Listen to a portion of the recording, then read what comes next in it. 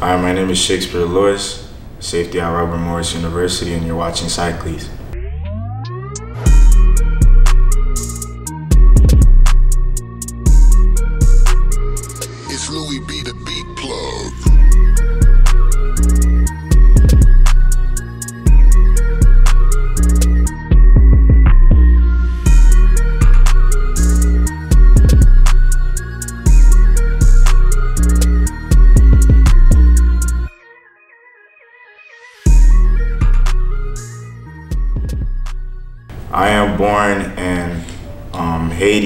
I moved to Ottawa when I was nine.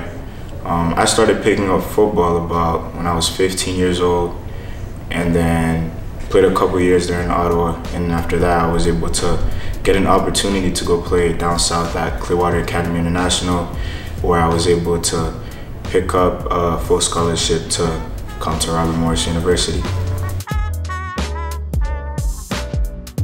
Um, so back when I was in Haiti, it was really my grandma that raised me. It was me and my older sister, and um, so my mom ended up leaving when I was about three years old.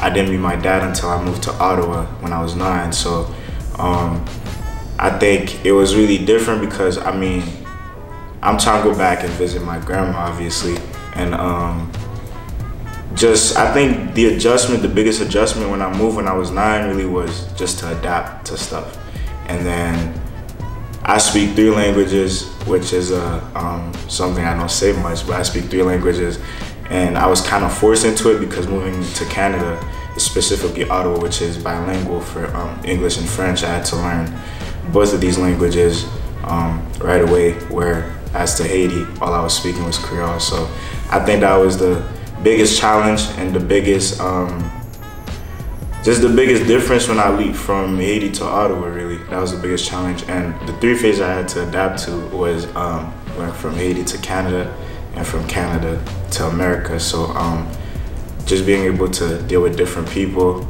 I think that was the biggest um, leap for me when it came to coming from growing up in Haiti and moving to Canada and having to adapt fast to the culture how people do certain things the type of different type of people you have to deal with. And I think also um, when I leave from Canada to America I think just people here are a lot more competitive um, and yet again having to uh, the challenge had was like uh, having to deal with different people. So um, I think just switching different positions and being in, different places like you have to deal with different people. So I think that was the biggest challenge Yeah, I think there's many different little things kind of bundled up together that shaped me in the person I am right now, especially because I had to go through a lot of different adversities. Um, and especially just being from Haiti, not a lot of kids get that opportunity to go from Haiti and all the way down to playing Division One football. So I think that was the first thing. And um, different scenarios, really. Like my first Division One offer, I lost that scholarship. Um, it's just man been different ways, family situations, um, just different scenarios that happen. Really, there's a lot more to it that I can I can't really remember right now, but I think that, and also the people around me, the people around me really helped me shape the person that I am right now.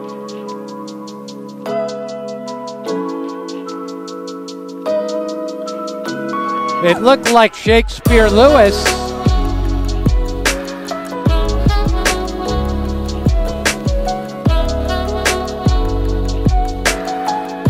in terms of football, Clearwater definitely shaped me in a way because I mean, especially the first year I was there, I played with a lot of good football players, so I had to step up my level of game and um, just being able to also go up against a lot of good athletes in the state of Florida. Just I had to raise up my level of competitiveness also and show people that just because I'm from Canada that I can also play football. So I think uh, my level of competitiveness definitely went up, and I think since like just like you said, I had to adapt to different situations and all that. I think it's just I always have a had a positive mindset and always remember where I came from. So that kind of helped me out a lot.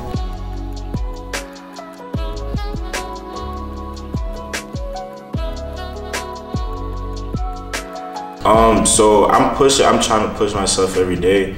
Just um, even if it's in the classroom, um, just being a better person, um, trying to be a better teammate, uh, just day to day trying to be a better um, son, just helping out my family, just being there for the people that support me and love me. So um, I think all of that kind of like pushes me more into um, getting closer to my dreams, basically, because um, I believe that like just being able to be there for the people that support you is is major. And um, when it can, when it comes to this team and the situation I'm at right now, well, last season um, we didn't have a good season, so we're trying to bounce back from that, which that was a really big adversity um, to come back from. So I'm trying to just be a better teammate, help my teammates get better, them help me get better, so we can just become better players, I guess. Yeah, I'm launching my own brand. It's calling Revenge of the Dreamer, and the whole idea behind it, it's a lifestyle, really. Um, just because of where I come from, I'm a dreamer myself, and the revenge that I'm talking about is a good revenge. Cause um, just for people that's been overlooked, um, just for the people that got a goal they've set for themselves, and just for the people that want more out of life, and for the people that um, just want to do better, that got a dream. So Revenge of the Dreamer is coming for everything really. So that's really my uh, my motivation behind it, and it's really a lifestyle. I'm gonna um, drop hoodies, um, t-shirts. There's a lot of things I'm working on right now since I just got started, but that's really the main idea behind it. I've been uh, thinking about it for a while, and I have a couple of my friends already that are in the clothing industry. I kind of um, had a couple conversations with them, and I'm in, and I'm in business myself, so it's always been something I've been interested in, but I never knew how to start it or if I should have started. So um, that's really, it's been a while since I've been thinking about it, honestly. And when it comes to the logo itself, the stars really represent the dreamers um, just like as little kids, you know, when you watch like cartoons, you see like people dreaming. Every time, it's always stars popping up. Um, so that's kind of like the motivation behind it. And stars just in my in my mind just stands for dream big. You know, shoot for the stars, like people always say. Um, in the globe, I mean, just being able to take over everything that you have to just being able to take over everything that you have to conquer all the trials and tribulations and just everything you have to go through to get to that dream. So I think that's really what it stands for. I say just the whole vision behind it, honestly, is whatever you partake in, just aim for success in it. And there's always success in whatever you may be partaking in, and your dreams can always come true. So just keep going. I think the people that are wearing this merch, I hope they can just find a certain type of confidence through it, just to know that they can achieve anything that they put their minds to. Because, especially, um, I think I always think about my journey from where I started until now. I never thought I'd be in this situation, so I think if I can be here, then there's a lot of people that are able to fight through whatever they're going through to be in the same situation. So I think that's what's Revenge of the Dreamer. Honestly, the main reason why I really started working on my clothing brand right now was I came to the realization that I really had because most athletes it's like um, go to you think you go to practice, go to class, go to meetings, and you don't have time. But I think we always have a little extra time we can just use to work on our dreams and work on the stuff outside of our sports. And my biggest thing this year was to find myself outside of my sport. So. Um, that's kind of the thing that's really motivated me to find even on the extra times that I have to just work on my um, on my goals outside of football. It's never gonna get easier, but quitting will make you won't get you closer to your goals. So that's the biggest advice that I have. And an advice I would give to my younger self.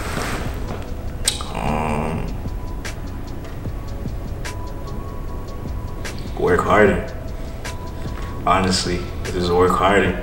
Cause I, I don't know. I always feel like I could have always done more. So no matter what a person say, they work hard, this and that, but you could always do more. And that's just I'm a firm believer in that.